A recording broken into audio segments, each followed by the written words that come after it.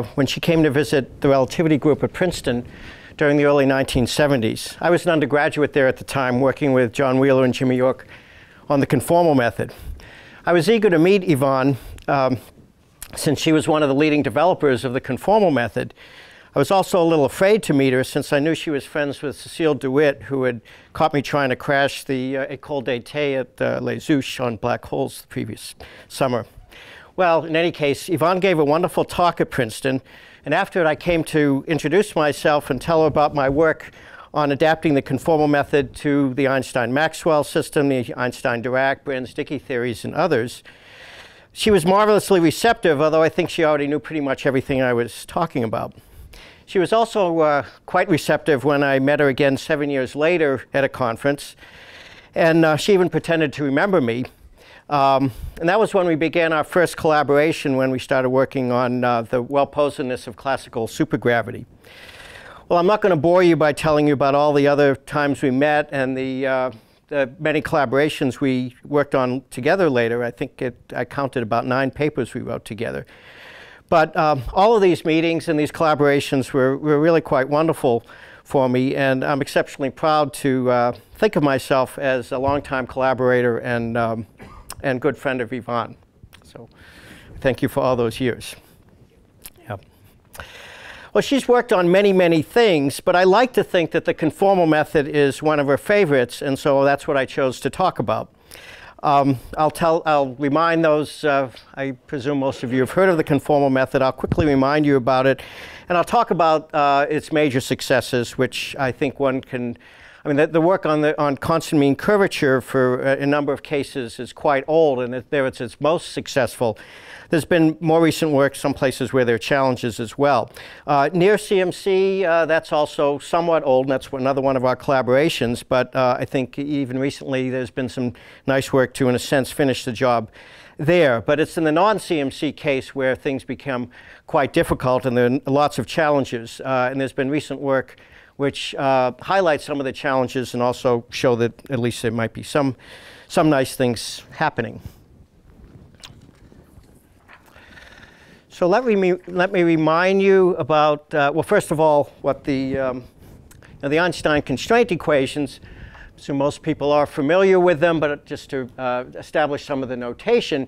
Uh, so the uh, Einstein constraint equations are, have to do with, of course, initial data. And um, this is for space-like slices, so we're presumed. And by the way, I, am writing uh, three dimensions, well, part, partly because I believe we actually live in three plus one dimensions, but most of the stuff I'm talking about here generalizes to higher dimensions, but I get sick of writing little n's over n minus ones plus threes and all that. So just think wherever you see three, you can replace that by n and various other places. Also, I'm going to leave out a lot of, a lot of constants, as I'll show you.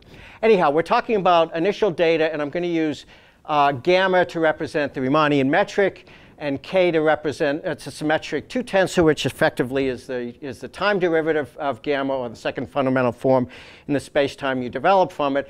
And let me for now use psi and pi to represent other fields that might be around, non-gravitational fields like the scalar field or fluids or Einstein or the Maxwell fields or whatever.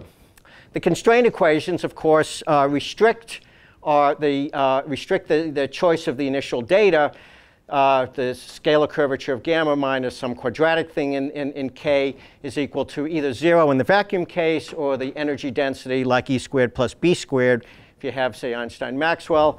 And then the other three constraints, the divergence of k minus the gradient of the trace of k is equal to 0 in the vacuum case, and it's equal to, uh, to, to, the flow of energy, in a sense, uh, of the non-gravitational fields if there are non-gravitational fields present. In Maxwell, this would be E cross B. So why they matter, of course, there's the well-celebrated and well-referred-to theorem of Yvonne from um, uh, 52, 53, whenever exactly it was, um, which says that, again, if you choose initial data which satisfies these constraints, then there exists a space-time development which I'm writing here as so G, and then uh, which satisfies the Einstein equations and also induces the initial data given by gamma k and psi and pi. So those are the constraints.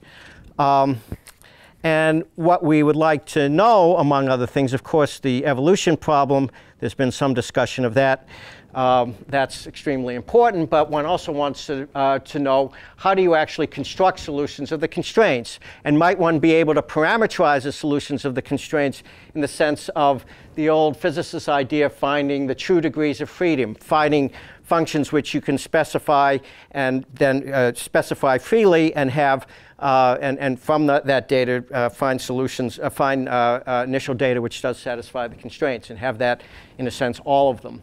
Uh, and there have been a number of programs for either, construct, either constructing solutions or parameterizing them.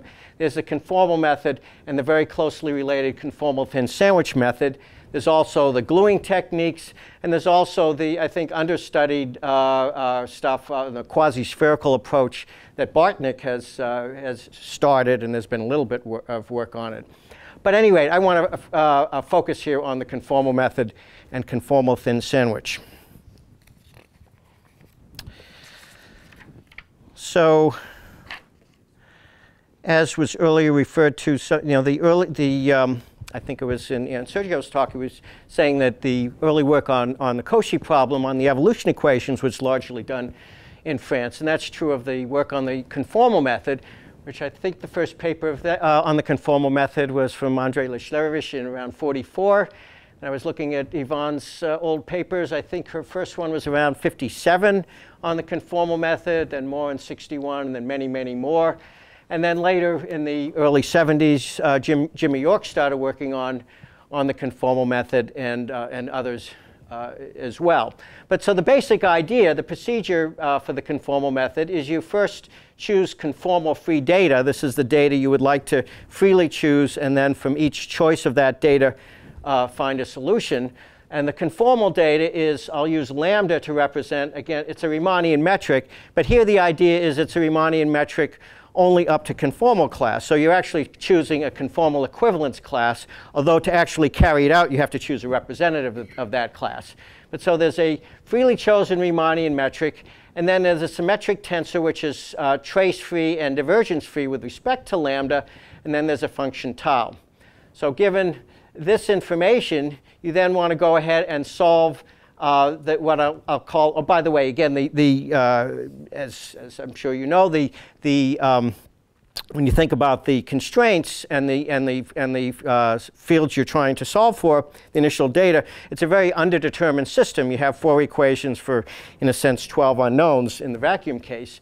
But the idea here is you have a determined system in the sense that now what you want to do, given this freely chosen information, you want to solve uh, the conformal, the uh, conformal constraint equations, which take the form of essentially a, a, a vector Laplacian on, well, what we want to solve for is a vector field W and a scalar field, a positive scalar field phi, and the equations are that you have uh, essentially a, uh, a, a, vector Laplacian on W is equal to phi to the 6 times the gradient of tau, and then you have the Laplacian of phi is equal to the scalar curvature with respect to lambda times phi minus that sigma plus LW squared. LW, by the way, W is this vector field. LW is the, um, is the conformal killing operator. That is, think of it as a, as a, uh, a symmetrized first derivative, uh, uh, first gradient der derivative on W minus the, um, minus the trace. You square that thing times phi to the minus seventh plus tau squared times phi to the fifth, and try to solve this thing for phi and w. Um, if, by the way, again, I've left out 1 eighths and 1 twelfths and all that stuff. Let's not worry about it. But Anyway, if you can solve these equations, then you can construct gamma by taking phi to the fourth times lambda, and you construct k by taking phi to the minus 2 times sigma plus lw, plus phi to the fourth times lambda times tau, and that gives you a solution of the original system. That's the idea. And then the main question becomes, for which choices of this conformal free data, lambda sigma tau, does there exist a solution phi w? So that's what I'm going to focus on for most of the talk. But I first want to mention a kind of useful tool for answering that question in a number of cases. And that's what I'm calling the quasi-conformal covariance of the conformal method. So here, let me first remind any of you who have thought about this at all that the, uh, if you take the uh, set, uh, the conformal method and restrict yourself to constant mean curvature, free, constant mean curvature free data, that is where tau is a constant, then, this, then, this, then the system is in a, in a certain important sense conformally covariant. So what I mean by that is the following. So again, we're talking about constant mean curvature data, lambda sigma tau, where tau is equal to a constant. And if you look back at those, uh, at the conformal constraint equations, one of them says that the uh, divergence of LW is equal to phi to the sixth grad tau, but that, that goes away. And let's, for the moment, assume that we don't, we're, we're working in the vacuum case. Then LW will be equal to zero. And then you're left with just the remaining conformal constraint equation, often referred to as the Lichnerowicz equation, which says that the Laplacian of phi is equal to r times phi minus just sigma squared, phi to the minus seventh, plus tau squared, phi to the fifth.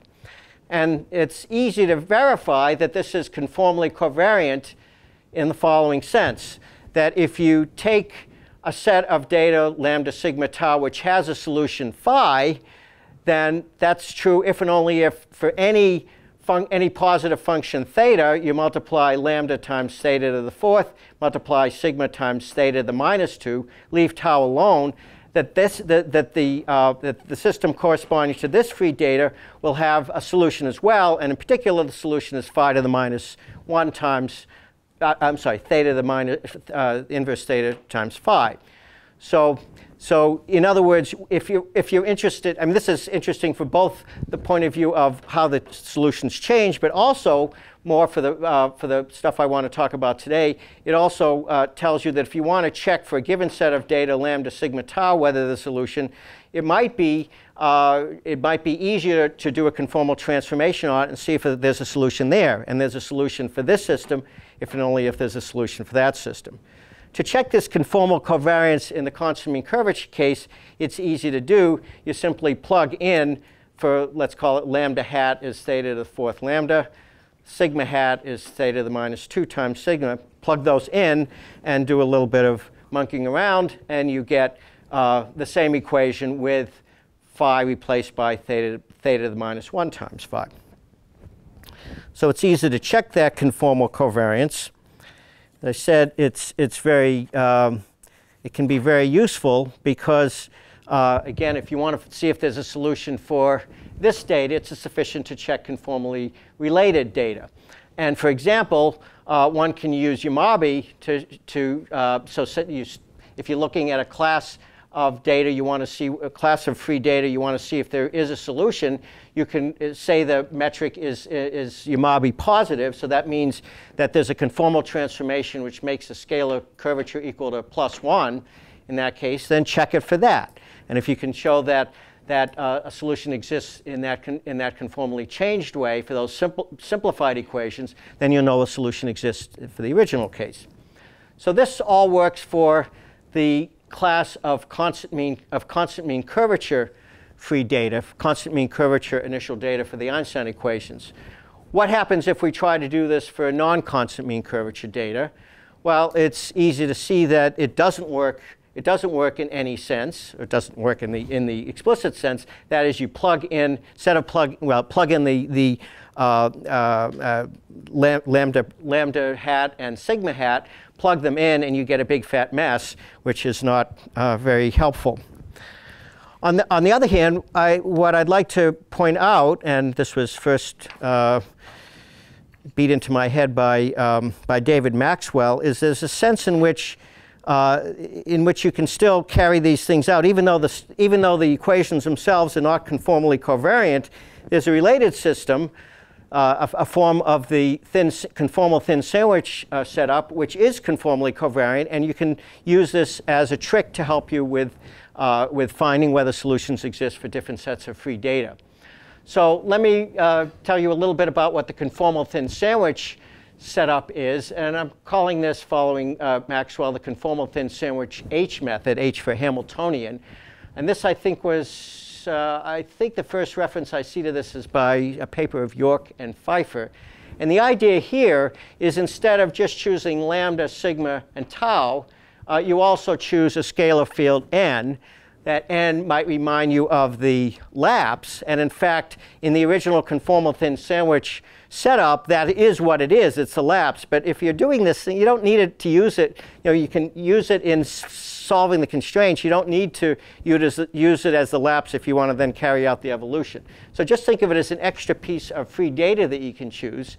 And what you uh, do now is solve instead of, you're still trying to solve for phi and w, but instead of the equations I wrote down before, you use these equations, where the only difference really is wherever you see an LW, you put a 1 over 2n in front of it.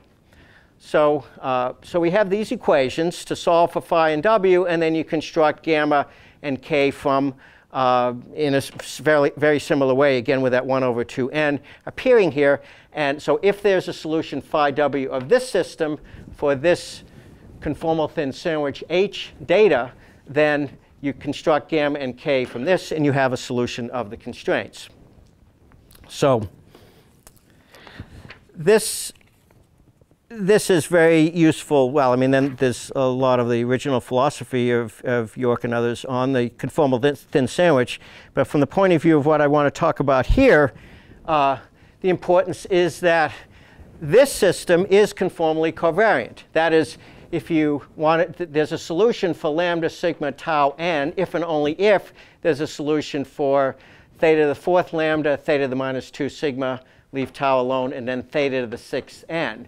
So you, have, you can, again, carry out this business. If you want to know if there's a solution for this, do a conformal transformation to, simpler equate, to a, a simpler form of the equations, see if there's a solution here. If there is one, then you know there's a solution for the original set. OK, so that's the conformal thin sandwich.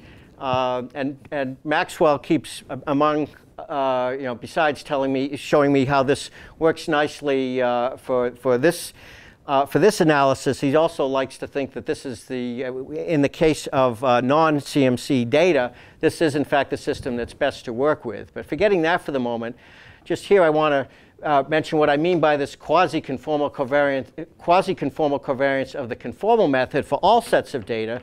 The idea here is that, again, now just working with a conformal method, for, for the data lambda sigma tau, you want to know is there a solution phi w. That's true if and only if you go to the conformal thin sandwich uh, setup, replace, uh, so replace uh, this data by add one half for the, um, uh, for the lapse, and then if you do the conformal transformation on this, including that one half, uh, so one knows that from what we set up there, that, uh, well, we know that there's a solution of the for the conformal method, for this data for the conformal method, if and only if there's a solution for the conformal thin sandwich method for this data here. So uh, what we're doing here is pointing out again that there exists a solution for the conformal method if and phi w, if and only if there's a solution of the conformal thin sandwich equations for the same data with n equal 1 half. So doing that, again, one can uh, replace the problem of seeing if there's a solution for this data of the conformal method by seeing if there's a solution for this data of the conformal thin sandwich method. And that can be very helpful, as we'll see. In fact, it's, um, it's, uh, it allows us, I think, to, uh, well, in, in, in some sense to uh, get, at least in the near, certainly in the near CMC case, we can get a lot more results than we thought we had. So um, that is, so we can check if there's, uh, if there's solutions for the given set lambda sigma tau by doing that conformal tra transformation that gets us to the scalar curvature being 1, 0, or minus 1. Um, and that will tell us whether we have solutions in the case we're interested in. OK, so that's a tool that we're going to use.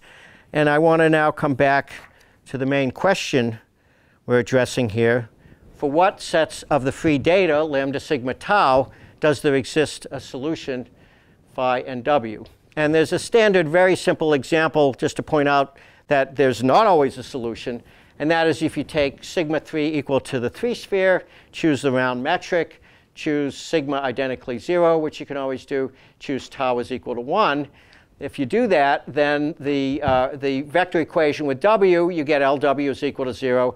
And all you're left with for the Lichnerowicz equation is that the Laplacian of phi is equal to phi to the fifth, uh, we're working on a compact manifold, and so we know there's not going to be uh, no positive solution on S3. Just see that from by integrating both sides, multiply it by phi and integrate both sides or use the maximum principle. So there are clearly cases where solutions do not exist. So that leads us to say, well, can we catalog when solutions exist and when they don't? Well, if you're going to do such a catalog, there's a lot of different categories to think about. So let me just mention a few of these um, that one should consider. So first, there's the issue of manifold and the, mani the type of manifold you're interested in, the asymptotic. So one can work on the closed case, which is usually the first case people consider. Then there's asymptotically Euclidean.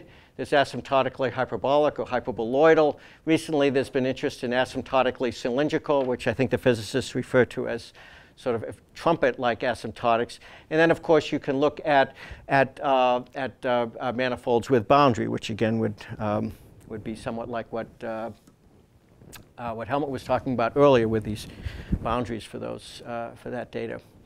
Um, then there's the issue of the regularity. You can look at analyticity, which one of our earlier talks said is a no-no, but at any rate, you can do that. Or you could look at smooth data, CK data. you can look at data with specified, uh, uh, specified, I'm sorry, specified uh, uh degrees of, uh, of uh, differentiability. You can look at various Sobolev or Hölder spaces. and besides that, if you're working in one of these asymptotic cases, particularly say asymptotically Euclidean, there's various rates of fall off that you can build into the function spaces. And so you can prove existence of solutions, again, for all these different cases here. Then there's the business of adding fields. You can work with vacuum, Einstein-Maxwell, Einstein-fluid, Einstein-Vlasov, Einstein-Dirac, lots of other things, and then the seemingly uh, uh, uh, harmless Einstein scalar. Although again, amusingly, it seems as if the Einstein scalar is one of the hardest things to deal with. Um, in many, many of the results I'll talk about, uh, well, I'll, I'll uh, uh, state them in terms of the vacuum, but the Einstein-Maxwell and Einstein-fluid scaled in an appropriate way is essentially the same thing. But the Einstein scalar turns out to be uh, difficult in ways I'll talk about. Um, and that's some work that uh, did with Yvonne and Dan Pollack a while ago to point out some of the difficulties. Um, there's still the issue of, so in this catalog, you can, again, all those different uh, categories I was talking about so far, but there's also the different, different uh, types of free data. You can talk about constant mean curvature, near constant mean curvature, which I'll roughly de uh, define in a few minutes. And then there's non-constant mean curvature, the complement of those. And then there's the Yamabe class of the, uh, of the metric that you're looking at and there's also things like a sigma. So I'll be stating results which will which will uh, divide among themselves. You know, your solutions will exist or not exist depending on what Yamabe class you're in, uh, depending on whether sigma, sigma is identically zero or not. So roughly speaking, uh, I, I, think the, one can say that the successes, the cases that we understand quite well, in fact, we can say we have a nice parameterization, is for mean curvature and near mean curvature, except in the Einstein scalar case. Um, there's also the issue, the near CMC results, pretty much all of them assume that there's no conformal killing field around. That's another problem that um, still needs to be handled. Then there's the non-CMC case, and it's not, a, it's not well understood.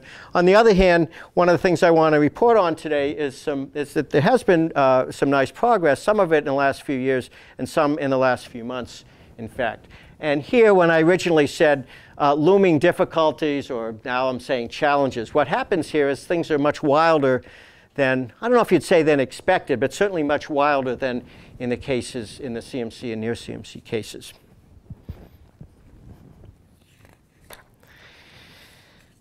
Okay, so um, the constant mean curvature case, I've already alluded, well, I gotta put that on here, don't I?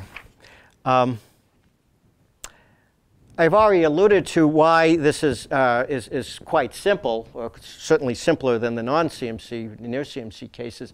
Uh, even if you have uh, non-gravitational fields around, um, and you have, and the right, and the right-hand side of, the, of, of this equation is not zero, you still have a semi-decoupling. So if, as long as the gradient of tau is zero, which is constant, the constant mean curvature case, then this equation is, is, is simply an elliptic equation for W, given the J, which will depend on the non-gravitational fields. And then, so you can solve this one first, and we know a lot about solving this equation, and then go ahead and essentially look at solving the uh, Lichnerowicz equation.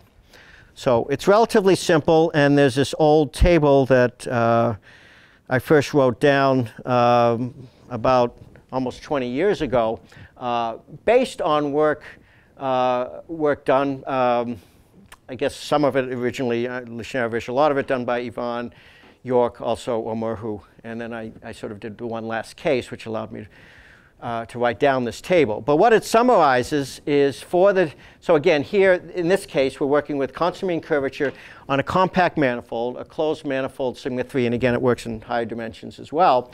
So um, here I'm writing down, the, this is the, uh, the, the met conformal metric is Yamabe positive, Yamabe zero, Yamabe negative. And this column here, sigma is identically zero and tau is equal to zero. Sigma is not identically zero, tau is equal to zero, then we flip, flip the other ways. So we have 12 different cases, and in each case, all the data which, which, which uh, is categorized by that Yamabe class and this condition on sigma and tau, uh, we can say whether solutions exist or don't. And so I have, so there are these various n's which say that no solutions exist, and the y's which say the solutions exist in that case. So that summarizes uh, a bunch of work done, uh, uh, as I said, um, by various people. I'll say a little bit, a tiny bit more about the um, about the methods of proof later, but let me just summarize uh, the other cases. Uh, if we go to the asymptotically Euclidean case, this is work originally I think Cantor, Brill, and then Maxwell uh, cleared up some issues. I think Helmut did a little bit of work on this as well. Um, but here, uh, actually, the Yamabe classes on asymptotically uh, Euclidean, for asymptotically Euclidean data are a little bit different than in the, uh, in the, on closed case. Again, in the closed case, you have Yamabe positive, Yamabe zero, Yamabe. And that's telling you whether you can conformally transform to plus one, zero, or minus one. It's also, if, you, if you're given, a, for a given metric, you can tell what the Yamabe class is by calculating a certain, uh, a certain uh, infimum or uh, supremum, whatever, of, of certain integral that I'm not going to bother to write down. That tells you which it is, and then, it, and then you go ahead and prove the Yamabe, uh, theorem, and, and you can uh, classify the, uh, what you can conformally transform to. In the asymptotically Euclidean case, you again have this, you can, uh, you can again define Yamabe plus and Yamabe 0 and Yamabe minus by, uh, by looking at those integrals. But the relevant cases are Yamabe plus and the complement, complement of that, which I'm calling Yamabe other. Um, and the interesting thing in this case, if you take a Yamabe plus metric, in this case, you can conformally transform to R positive. You can conformally transform to R equals 0. You can also conformally transform to R negative everywhere. And, and um, yeah, so it's so again, it's, it's, it's classified by looking at those certain integral conditions. But what you can do is a little bit different in the asymptotically Euclidean case. And then, um, uh, and then there's the, the other case. Now, what happens here is uh, of course, if this is constant mean curvature and we're talking about asymptotically Euclidean, that means that tau has to be zero. So the only relevant things are Yamabe plus, Yamabe other, sigma identically zero, sigma not identically zero. And what you find is in the Yamabe plus case, solutions always exist. Yamabe other, solutions don't exist. Um, and then there's the asymptotically hyperbolic case, think this is originally work of, of uh, Lars Andersson and Piotr Chruściel. And in this case, again, I'm not, I'm not worrying about regularity and the like. Um, their solutions always exist. Um, I haven't said anything about uniqueness here.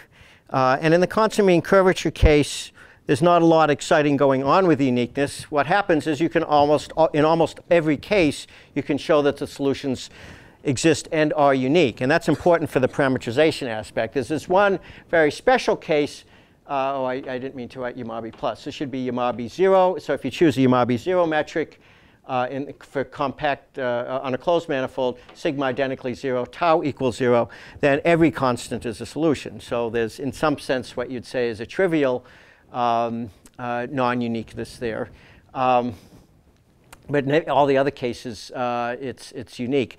I, again, that actually depends on whether you're assuming that, that the solutions uh, asymptotically go to 1. You could also have the solutions asymptotically, I'm sorry, in, in, the asymptotically Euclidean case, they can go to 1, they can go to something, uh, some other constant as well, and you can still, you still get solutions. But so what about, what are the tools for proving this? Again, this is uh, a summary of, a, uh, of work over a number of years.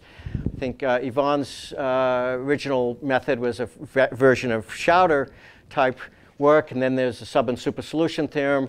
Conformal covariance plays an important role here, and the maximum principle does as well. Um, and again, I'll mention that if you go to the Einstein-Maxwell case, the results are essentially the same thing. The equations look very similar uh, in the constant mean curvature case. The only thing is instead of 0 over here, you have E cross B.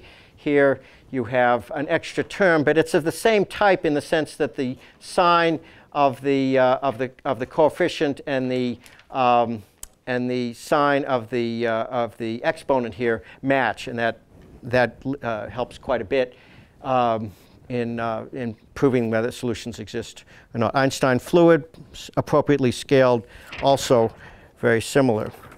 Um, the case that's not well understood at all is the Einstein scalar case.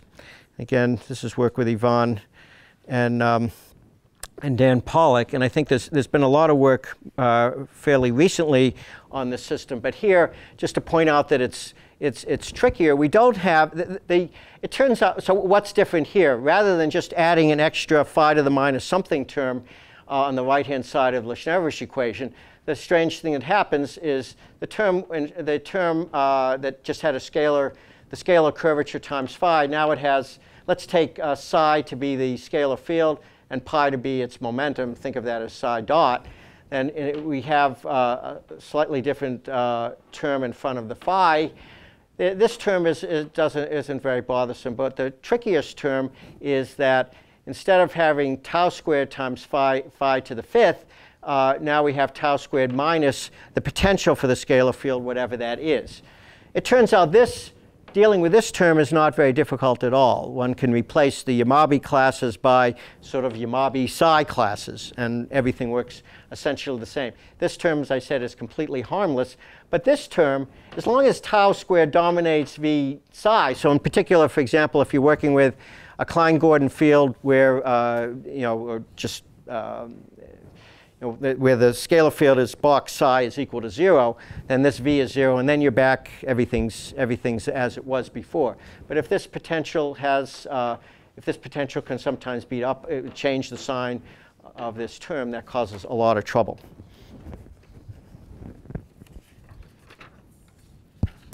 Okay, so that's what happens in the um, constant mean curvature case. Um, what happens in the near constant mean curvature case? Well, very roughly speaking, first let me say what I mean by that. Very roughly speaking, what it means is that the gradient of tau relative to tau is small. That's oversimplifying because in, in when you actually look through the proofs of these things, the gradient of tau sometimes has to be small relative to other things as well. But let's just, let me just summarize it roughly as that's our condition for near CMC. So why does this make it harder to deal with? Well, that's easy to see because before, what made it very simple is because the gradient of tau is zero, that killed this term on the right-hand side. This equation, even if you have non-gravitational fields, is relatively simple and certainly decoupled from this equation. But now you have to deal with the coupled system. On the other hand, in a rough sense, it, it turns out that this uh, system is relatively manageable. And the reason is because uh, from this equation here, in some rough sense, I mean, one can make this precise, but this equation for LW tells you that uh, you can, uh, you can uh, control LW relative to some constant, which depends on various, various Sobolev stuff, or Holder, depending on what you're using, times phi to the 6 grad tau, and I'm meaning this as a pointwise uh, uh, uh, estimate.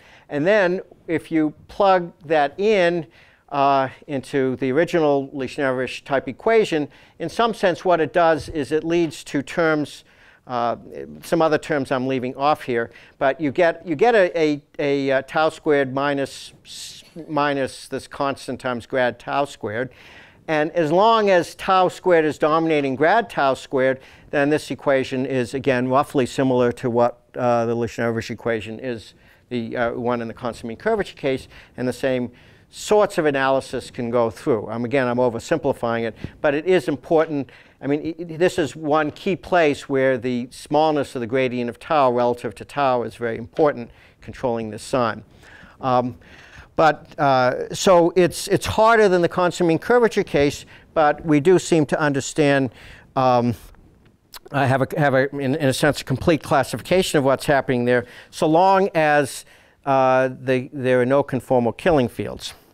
So again, I'm going to summarize the results with one of these tables, summarizing work. Again, Yvonne played a role in this work. It's one of the things we collaborate on. Also, Vince Moncrief Omohuu, Allen Clausen, Maxwell, others worked on this. So here, the separation is the Yamabe classes, it turns out we're interested, and here I'm just uh, considering on a closed manifold. We have Yamabe plus, Yamabe zero, and I'm dividing Yamabe minus into uh, into two different classes. And this here, um, uh, even though in the CMC case, this just depended on the metric. Here, this depends on tau as well. So there's this one case where you can conformally transform uh, to r is equal to minus tau squared, and other cases where you cannot. So dividing it into those two classes, and then where the, uh, the classification on the top is whether sigma is identically zero, sigma is not identically zero, and you can summarize the results again by saying in this, in this category of conformal free data, there's no solutions, no solutions, no solutions here, and in these other cases, you do have solutions. So that's what happens in, for near CMC on closed manifolds.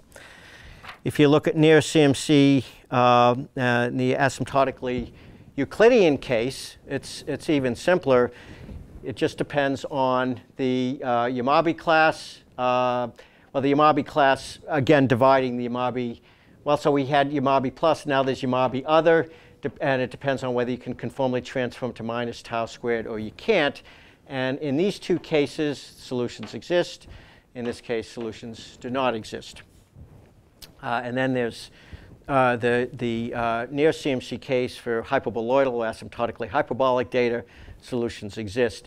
And I guess there's, there are, uh, I'm leaving out the asymptotically uh, cylindrical and other things as well, but uh, there's similar sorts of results there. Solutions uh, unique. In this case, one can show that solutions are unique. Um, the key tools here, actually some of the um, earliest work on this, Yvonne was working, I think, with the implicit function theorem, an approach based on that, perturbing away from constant mean curvature. Vince and I we're working on what I was later told was a constructive Gummel iteration. The idea is to, in a certain sense, uh, decouple these equations by, uh, by replacing them by a sequence of equations where you choose phi 0 in some sense arbitrarily. Then you solve this equation for uh, w sub 1 in terms of that given phi 0, then solve the Lichnerowicz equation for phi n w n, and then take that w that phi n, put it in here, and go to the go to the next one. So it's an iterative scheme, and then the idea is to take the show that for each value of n, solutions exist, and then study the um, study whether uh, whether the solutions converge in any sense. So that was uh, a key tool we used. Sub and super solution play a big role. And again, to complete those tables, I think when, the, when, uh, when we did the work uh, some years ago, uh, we didn't know about this quasi-conformal covariance, and so our results are actually stated in terms of uh, the scalar curvature being positive, or, or, or I guess, no, that original work was negative. The work with uh, Allen and Clausen was for a positive case, but with this quasi-conformal covariance, one can extend these results to the full uh, Yamabe classes.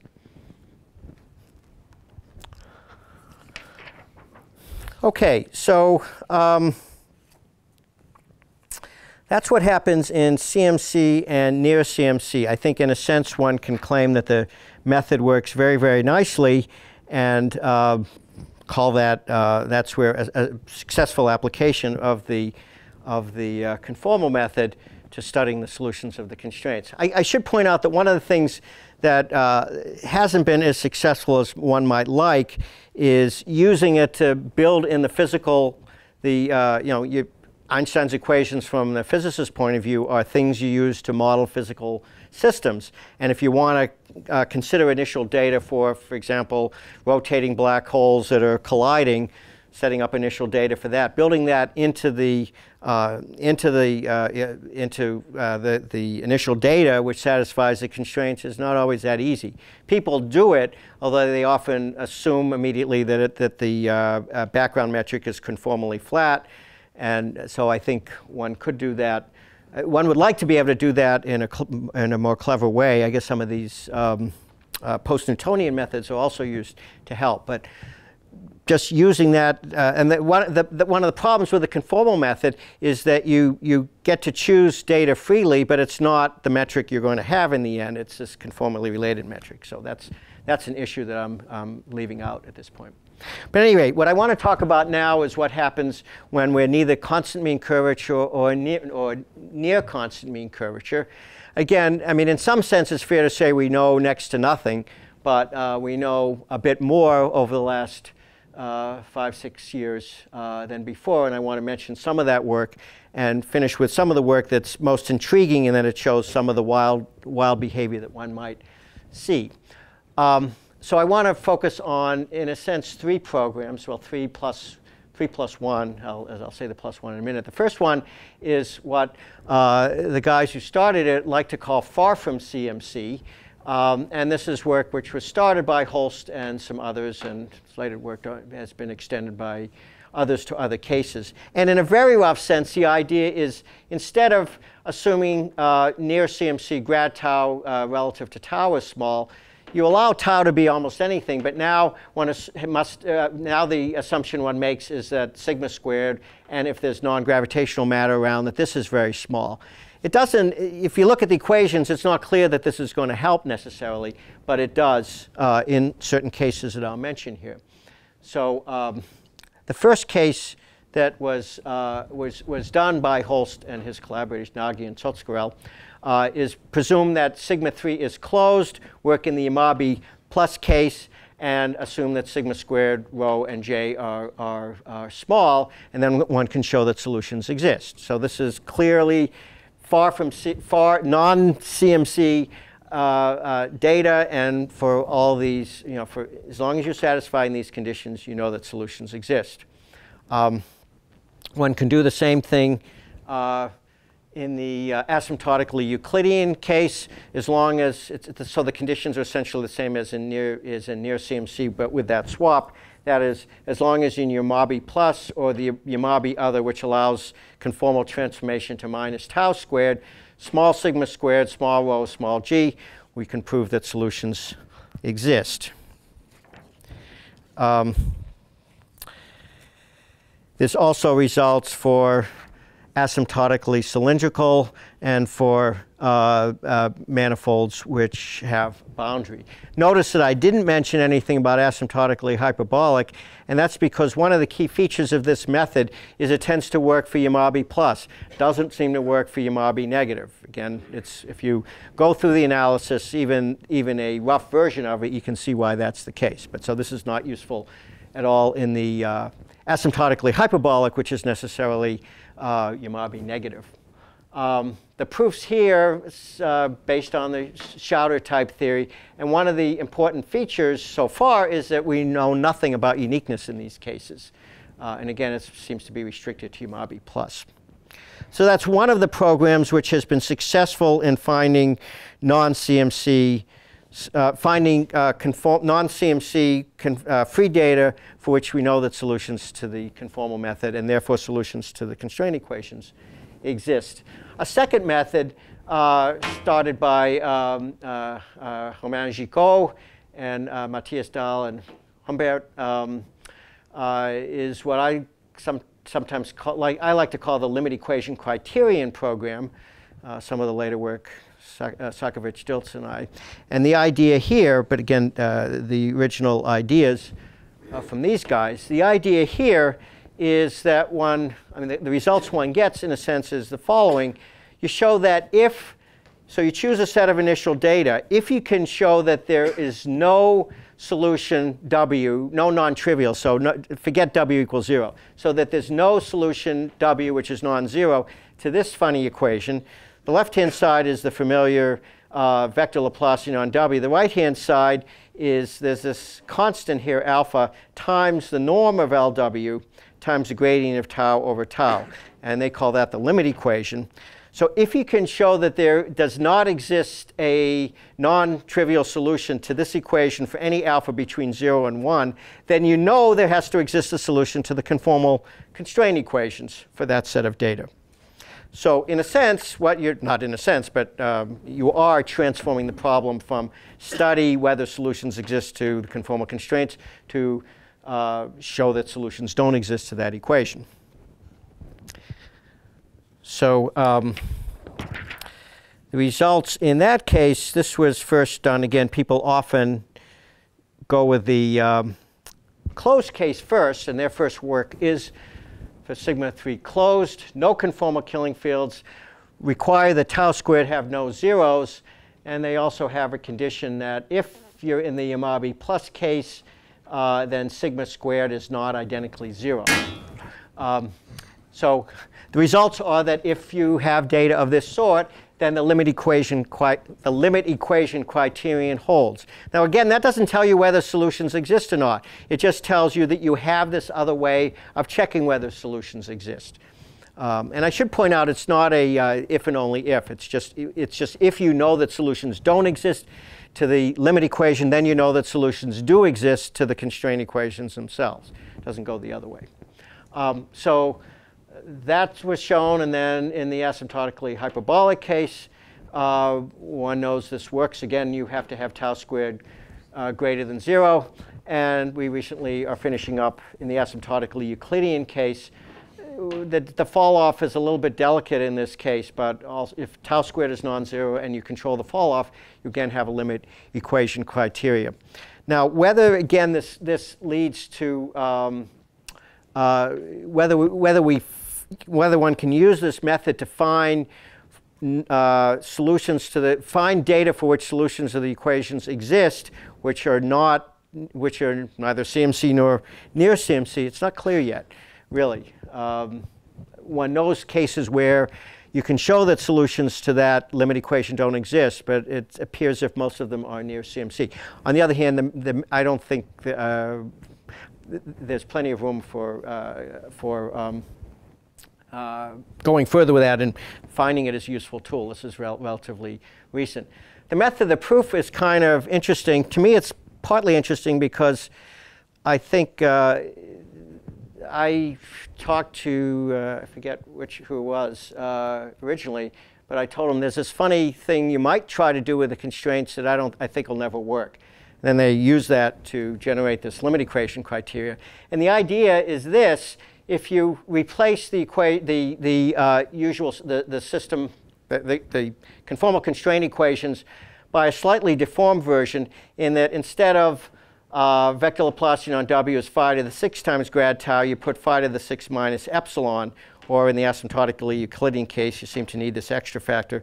Leave the Lichnerowicz type equation alone. It turns out in this case, one can find solutions quite easily. Just changing that the 6 to 6 to the minus epsilon uh, uh, is, is very important. And in a sense, you can see it because remember I was saying that in the near CMC case, you can do this kind of uh, rough analysis where this phi to the 6 ends up putting the LW and therefore the grad gradient tau in that tau squared minus phi to the fifth, uh, tau, tau squared minus stuff times phi to the fifth. But if you put, uh, replace 6 by 6 minus epsilon, that doesn't happen anymore.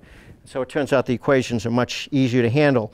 So uh, the idea is to um, look at those equations. It's relatively straightforward to verify that solutions exist to these deformed equations and then study whether solutions, as, as epsilon goes to zero, do solutions to that, do these solutions converge to solutions of the full system? And uh, there's various energy conditions of certain types you can put in, and you get this sort of dichotomy. Not really, but uh, if, if the limit exists, that gives you the one thing. If the limit doesn't exist, it gives you the other. So that's the way the, uh, that method goes. I should, I should point out again here, uniqueness is not determined at all. This has nothing about uniqueness. It's just its existence. Um, and again, the method is as good as what we know about whether we can show that there are no solutions to that limit equation. Okay, so that's uh, the first two programs. Let me finish by talking about um, these relatively, well, actually, the original work of Maxwell is somewhat old, but I think it's been developed quite a bit in the last year, and I think it's, I used to just call these Maxwell's horrible toys, but uh, I think it's, it's becoming clearer and clearer that these are telling us about what's going on more generally. I mean, his original work was he just simply took um, uh, the three torus, flat, uh, lambda flat, and then sigma, uh, and he assumed that there's two killing fields, so the whole analysis reduces to a one-dimensional problem and then assume that, so if the uh, um, trace-free, uh, trace-free tr uh, transverse condition, divergence-free condition of sigma tells you that this is roughly constant. And then in his original work, he took tau to be equal to uh, A here and B there with a discontinuity. And he found various strange things. But I think this, uh, some of the more recent work shows this is much more general. But anyway, by simplifying it very much, uh, it's, it's relatively easy to show whether solutions exist or don't exist depending on how you change the data that you still have in sigma and tau. One of the things you're really doing here, and, and it was a, a bit of a, uh, one of the conditions in, in some of the earlier, uh, some of the other programs is that uh, is tau is generally kept away from zero. This is, the program here is to, to explore what happens when tau does in fact have zeros. Um, again, it's not dealing with the uh, issue of, of, conformal killing fields. But what he found, and again, what seems to happen much more, uh, quite a bit more generally, is um, let me just give a, a, a, relatively simple archetype where the of this is each point here represents a, a, a, set of data here. And let's let me use this as roughly the norm of sigma. And let me use th this axis as the average of tau over the oscillation of tau. So the uh, cases where tau has zeros are sort of from here on and you go over here and tau doesn't. But the interesting thing you get is you get uh, places where there's one solution, places where there's greater than one solution, places greater than two solutions, places where there are no solutions. So different sets of data for the same relatively simple system where you can have um, where you can have all this kinds of behavior. And there's some other ones which I found a little hard to draw where you can show that there's four or more solutions. So this is the kind of thing we haven't seen before. Remember, I said uh, in the CMC we know that solutions are are unique except in that very special, very simple case where you understand what's going on. Near CMC, again, you seem to get uniqueness. In these cases, it appears as if uh, uniqueness is not guaranteed at all, and many cases it won't be. Uh, and this brings up also, as I said, I wanted to talk about three and a half programs here. Uh, I mean, this is this other program. Actually, there's been quite a a few papers in the last uh, couple years on the Einstein scalar system, and this can be even for CMC, and there's been some intriguing stuff happening here. Again, remember the idea of the Einstein scalar, even in CMC, the problem you have is with this term. I'm mentioning a few of the people who have been working on this over recent years. Um, if you know the tau squared minus v uh, minus the potential for the scalar field is positive, you have the familiar existence uniqueness. It's when that's not the case that lots of things can happen. And one can find, again, cases where there's no solutions, one solution, two or more solutions. And parameterized sets of data where you can actually go through the transition where it goes. And sometimes you have this, uh, uh, this uh, sort of index type behavior where you flip from either there's zero solutions or two or four, etc. So I'm not going to say much more about this, except again, it's intriguing um, cases where the behavior is much wilder than one might have expected. So um, one could come back to ask overall the question, is the conformal method uh, effective for constructing, parameterizing solutions of the constraints? And again, the conformal method or equivalently conformal thin sandwich in various forms. For constant mean curvature, and again, uh, I, there's still more to understand for the Einstein scalar system, but generally we see that it's, it's quite effective. Near CMC as well. Non-CMC, I think until about six, seven years ago, we knew essentially nothing. Uh, now we're seeing uh, some things, and, I, and, and there are some ideas on how to continue, but I think the, the behavior is, is, is fairly complicated and therefore fairly interesting. Whether one will ultimately say that the method is useful as a way of parameterizing solutions, I'm not sure. Uh, sometimes uh, in his earlier work, Maxwell would say uh, the method is just dead there, and I don't like to think that. I did like to think that it's just more complicated and therefore more interesting. And I thank Yvonne for leading the way on, uh, on studying this program, and I uh, hope you'll continue to show interest in it.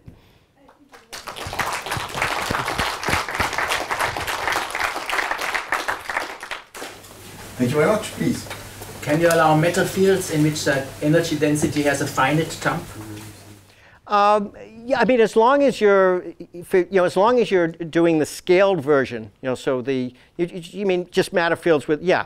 I mean, if, if you're doing the scaled data, then it works the same way. So that doesn't, that doesn't affect anything. If you take the non-scaled data, then it can get complicated again. It's rather artificial to scale the data. I mean, oh. the source. Pardon me? It's rather artificial to scale the source. Yeah, it is. It is. Uh, but uh, right. So then you, right, because you're scaling the source and you're not really doing the physics that you want to do, and that's that's always been one of the problems with the with the conformal method. But even if you don't scale the source, you still have to scale the other the other information as well. But yeah, I mean, actually, I, I, I was uh, in, in, a sense poo-pooing what you're saying. I mean, saying that, that there's not much uh, change there. Yeah, I mean, that brings up the issue of regularity. And, uh, you know, again, in, in, I think in the original work... It's quite irregular if you That's right. But I think, uh, I'm forgetting again, Yvonne... Uh, is it possible? Pardon me? Can you do it? Yeah, I mean, that's, uh, I think, is, I'm, I'm forgetting exactly the results for, uh, you know, for weak solutions that you might have in such cases, but I, I, I think that's generally okay. Um, so there haven't been any surprises in terms of, know, pretty much as, as much, uh, uh, you know, as low regularity as you might want, the method seems to work well. And that came up again with, uh, you know, some, in the Cauchy problem, uh, you know, when you're trying to uh, prove uh, that, that you have well-posedness for, for fairly low regularities, which Sergio and others have let him, but they're, yeah. Something like, like a fluid, you may have nice regularity where the fluid is and it's zero outside. It's just yeah. one position where you have a... I think that's okay. I, I think this, that doesn't uh, create any particular challenges. Uh, you mentioned something about multiple black holes uh, initial data. So can you say a little bit more and uh, what are the limitations? Well, it's just a matter of how are you going to choose, how are you going to choose a conformal metric and the sigma that's supposed to represent the, uh, I mean, this is, this is a modeling problem. It's not a mathematical problem as such.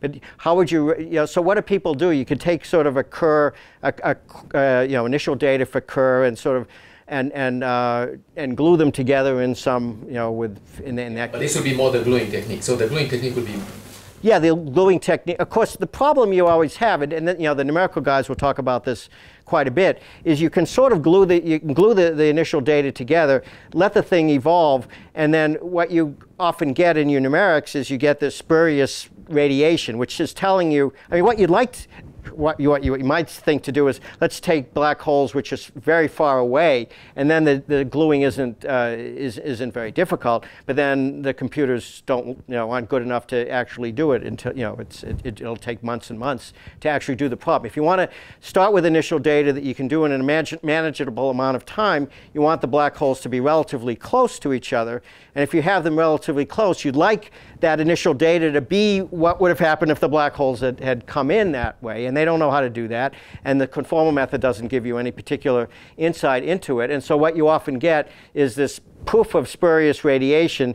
And then one would like to think what you're seeing after that is what would actually happen. But it's a little, you know, if you're trying to see how much of the energy of the, uh, of the system is converted into gravitational radiation, do you include that spurious radiation or not? I, I mean, again, I'm not an expert on what these guys are doing most recently, but that seems to be the issue. And um, yeah, so setting up the initial data for such a, um, a modeling problem is not easy. It's- it was my- Pardon me? Could you make, Please. could you make a summary comment about the case when instead of taking CMC data, you take data on the past light cone? Um, not an expert on the, on the, uh, I mean, that's a very different, very different issue, and I think, I don't know where Piotr is, but, uh, um, yeah, I mean, that was what Piotr was talking about. Yvonne also knows quite a bit more about the, about the, uh, uh, the constraint problem on, on light cones. The constraints are very much simpler in that case. Yeah, um, yeah, it's, I mean, it's, they're not completely trivial, as I understand. You, you, there's a little bit of, st- of work to do, but uh, yeah, I mean, the, pardon me? Yeah, okay, yeah. That, very different problem.